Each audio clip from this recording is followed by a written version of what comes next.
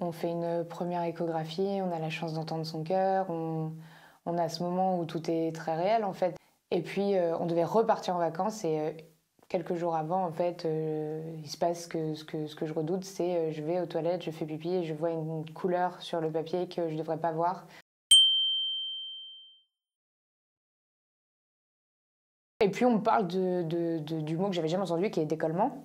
Euh, qui est assez courant en fait et, euh, et, qui est dans la plupart de... Je le dis parce que je veux pas inquiéter et c'est vrai la plupart du temps les décollements se résorbent tout seuls et, ce n'est pas un problème.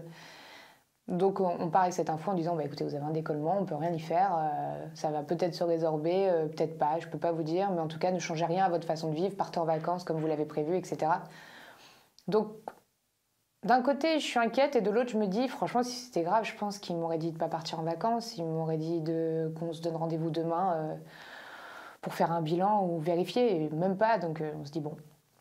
Et puis on prend la voiture, et puis je commence à avoir des grosses douleurs dans les reins, euh, des douleurs de règles, mais fortes. Ce qui est terrible, c'est qu'en plus, on a fait un arrêt sur la route pour, pour voir mon beau-frère, du coup, le frère de mon, mec, lui annoncer qu'il, qu'il allait être tonton. Donc c'est horrible parce qu'en fait, euh, ça a duré que quelques heures. Ensuite, euh, on est arrivé. Le cauchemar a commencé euh, avec deux allers-retours aux urgences où j'ai été accueillie dans une ambiance fin du monde parce qu'on est en plein Covid en plus. C'est vraiment, c'est un film. Hein. Moi, je m'en souviendrai toujours. Et la violence des propos des soignants et, moi, l'hémorragie et puis la fin, quoi. On peut pas l'oublier parce que je pense qu'il n'y a rien de plus viscéral qu'un enfant au fond de soi. Euh, quand il compte plus que tout. Plus rien ne comptait en fait. La douleur n'était pas importante, ma vie n'était pas importante. Si je devais passer neuf mois couché pour le sauver, à souffrir le martyr, ça aurait été ok en fait. Rien ne comptait plus que lui. J'aurais plus tout enduré pour qu'il qu'il survive en fait. Et euh, et quand on a cet état d'esprit-là et qu'on se retrouve face à un soignant qui dit ah mais vous avez fait 13 heures de voiture avec un décollement, vous avez de la chance s'il tient en fait. Hein. C'est monstrueux de dire ça, c'est monstrueux. Moi j'ai explosé de rage de culpabilité. C'est terrible parce qu'elle m'a parlé comme si j'avais fait 15 euh, ans d'études, euh, que j'étais enceinte pour la 47e fois et que je connaissais les tenants et les aboutissants.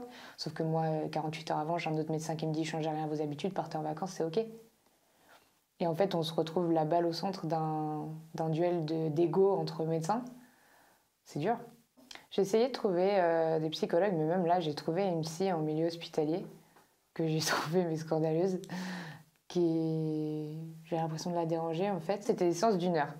Elle, elle avait raccourci déjà une demi-heure. Je me suis dit, bon, ok.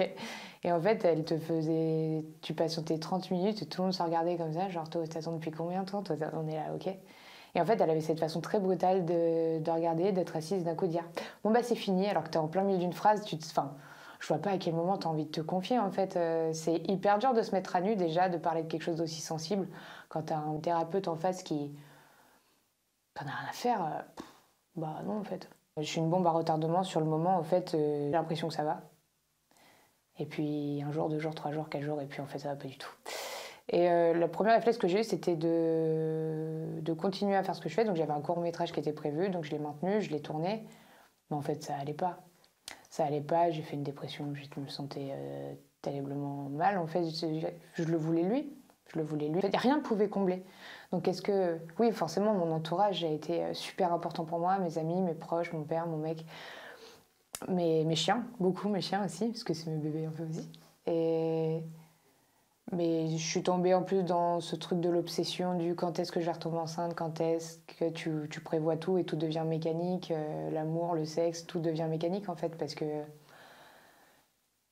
tu fais ça dans le but de tomber enceinte, là, c'est même pas un rapport d'amour.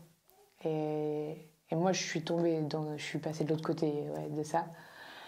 Et puis d'un coup, je ne sais pas pourquoi, un matin, ça allait un petit peu mieux, puis le lendemain, un petit peu mieux, puis un petit peu mieux.